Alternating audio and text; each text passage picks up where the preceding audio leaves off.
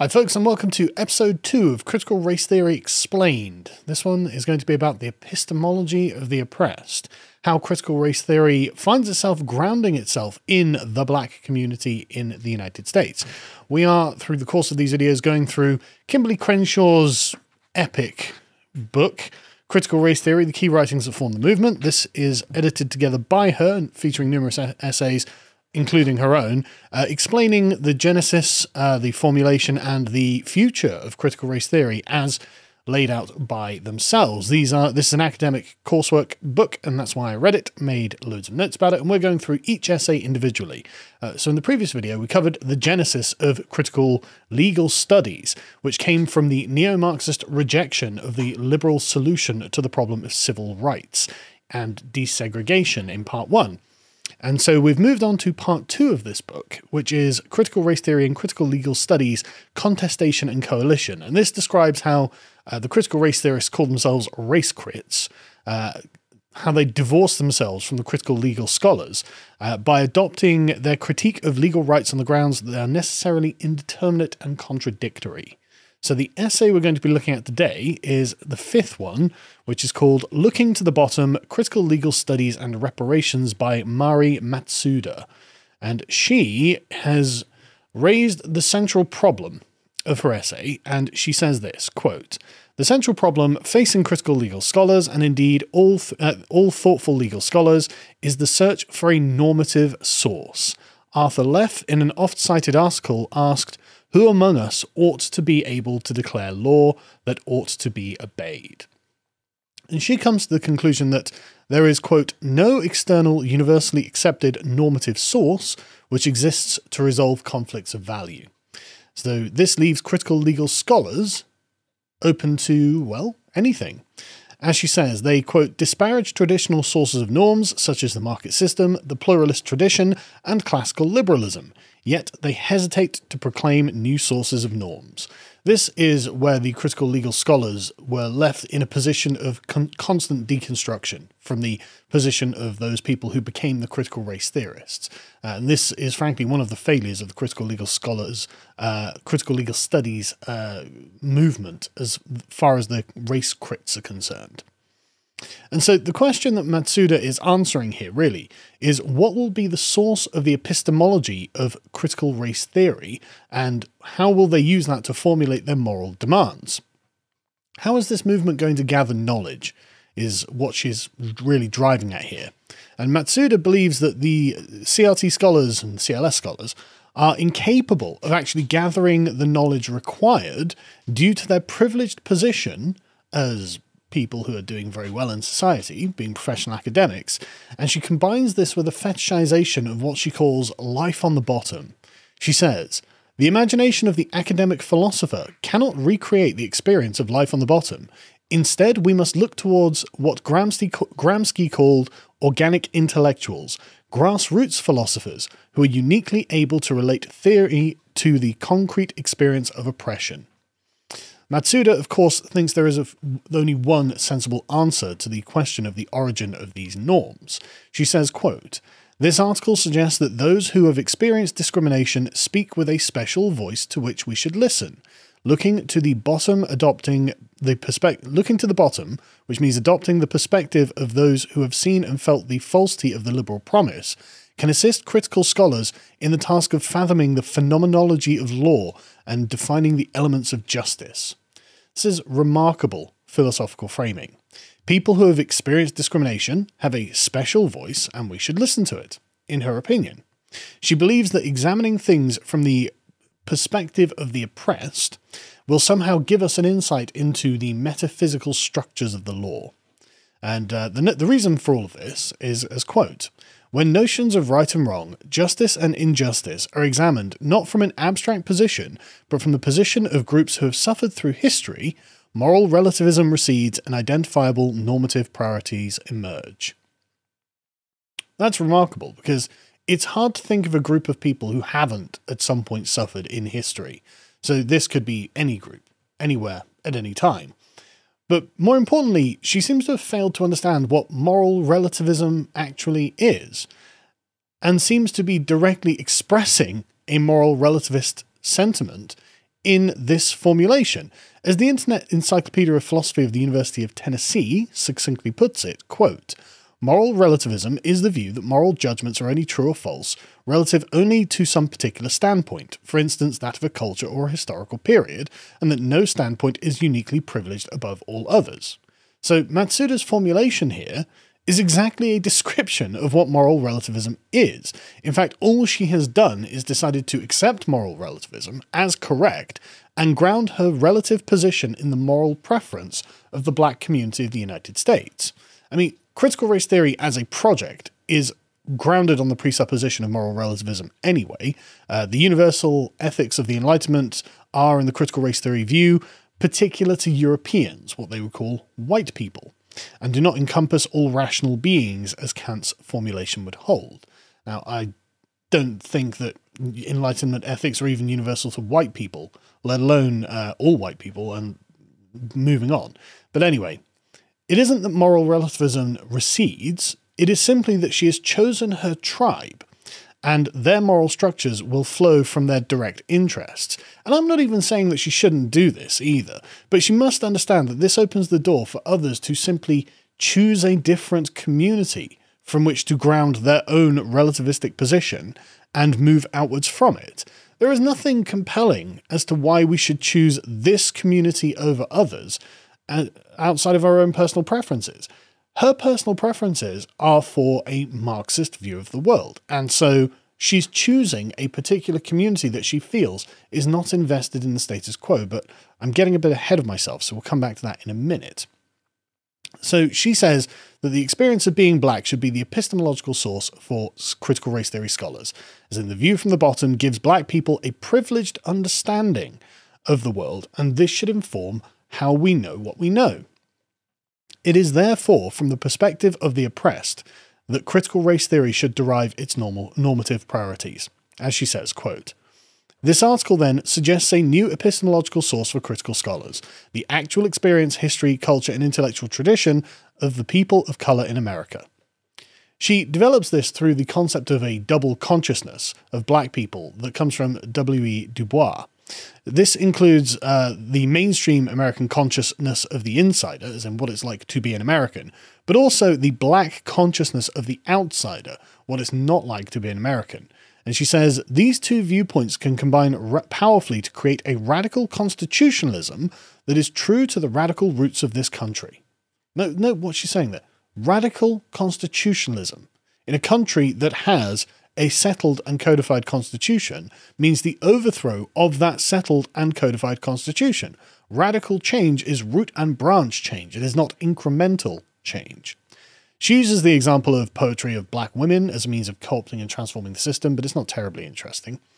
But her main critique of the rule of law lies in the following contradiction. She says, 1. I have a right to participate equally in society with any person. 2. Rights are whatever people in power say they are. Now, I don't agree with these formulations, and I don't agree that there's necessarily uh, an irresolvable contradiction here. I mean, the right to participate equally in society with any other person? What does that mean? Like, that could literally mean that I have an equal right to Buckingham Palace as the Queen does, and I don't really think I have that right, uh, but then I'm not a communist. But anyway, this is the continental conception of rights in Enlightenment thinking. In the English conception of rights, rights are imbued in us by God, not constructed by the state, as in rights are not whatever people in power say they are. This, however, of course, creates an external objective source of normative values that Matsuda has already rejected earlier in this paper.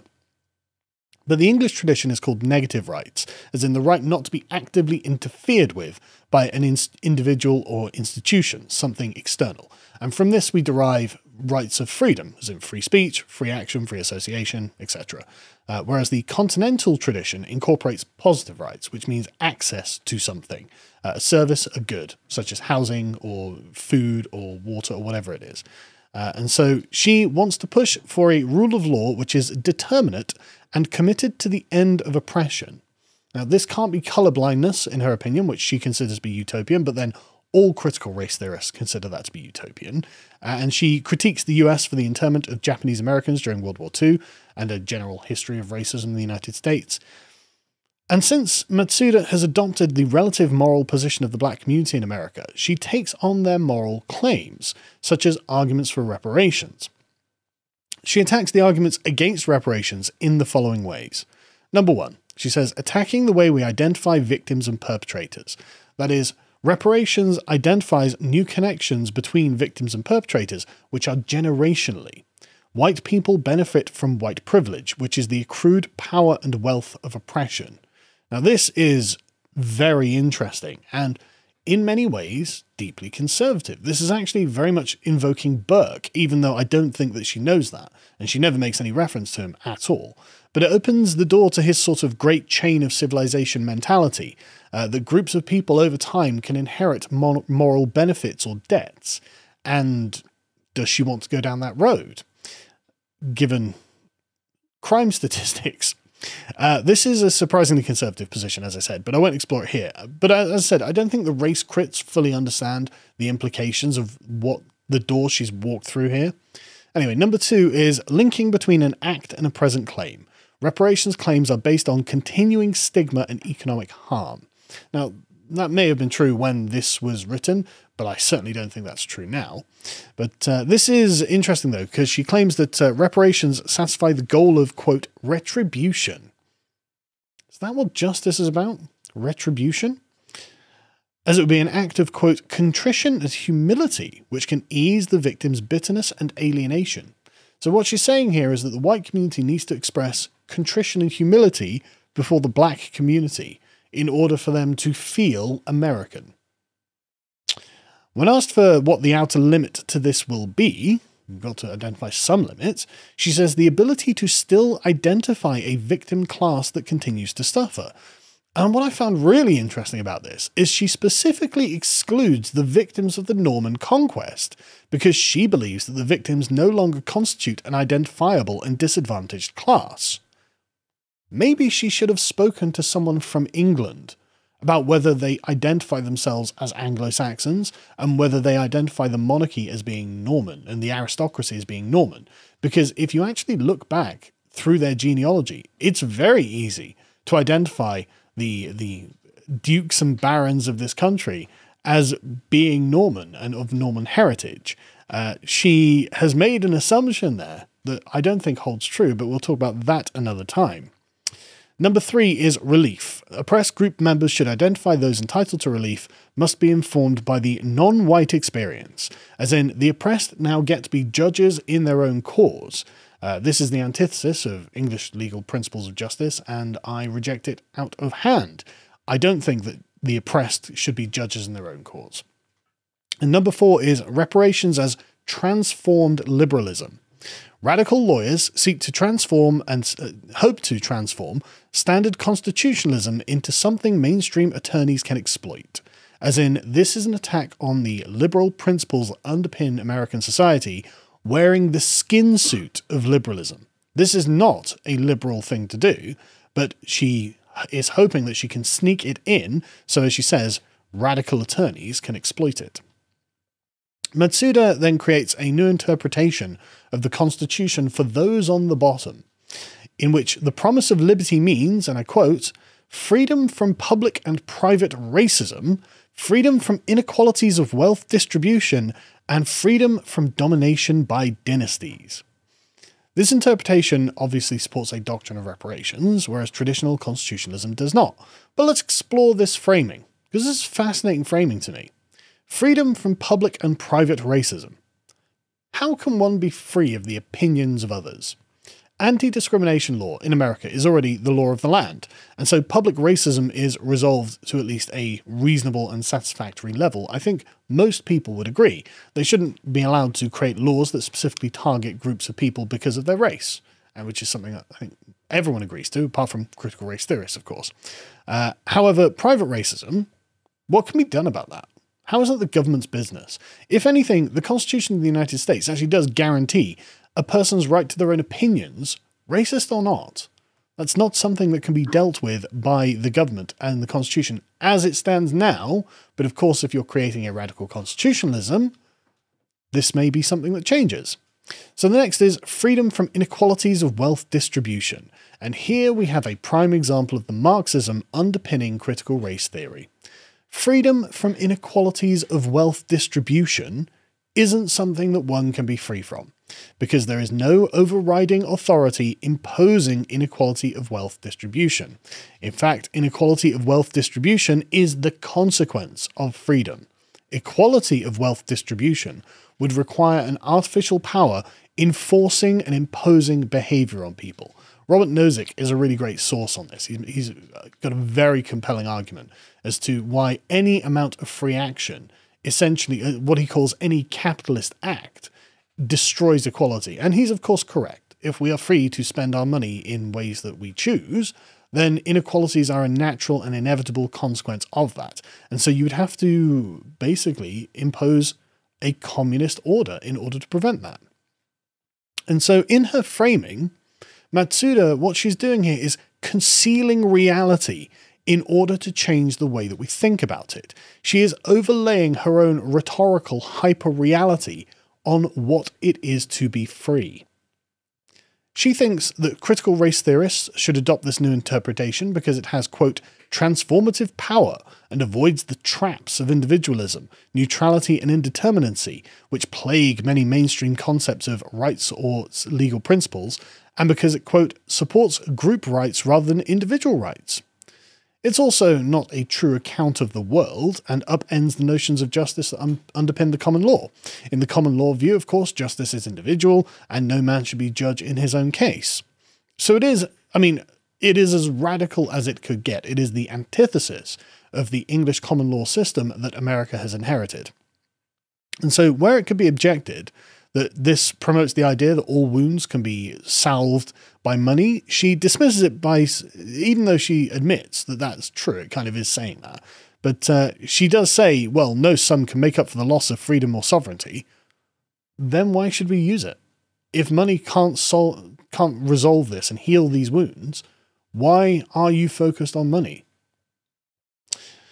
She also adds that reparations have to be more than simply monetary rewards, and that this may enable, uh, because if we don't have a radical restructuring of all of society, it may enable another victim group to slip to the bottom of society. Some kind of restructuring is required, and when she says this, she's definitely downplaying how radical a restructuring she is actually asking for. But naturally, the communist radical wants radical change to the liberal order, and she's doing this subversively by wearing the liberal mask and saying, listen, what I'm presenting here is really just an extension of liberalism itself, which it's not. It's in fact the complete opposite of what the liberal order of the United States is, which is why it doesn't currently support reparations. But, uh, but of course, the critical race theorists think they can achieve this vision by grounding its normative ethics and epistemology in the communities in America that they believe are not invested in the status quo. And so that's why, through looking from the lens of the black community, the critical race theorists believe they can begin to introduce a communistic order in the United States. And Matsuda is pretty open about this. She's not mincing her words, she's not correct in many of her philosophical formulations, but that's only because I'm not a communist, she would argue. And if you're not a communist, well, you'd have no particular reason to agree with any of this.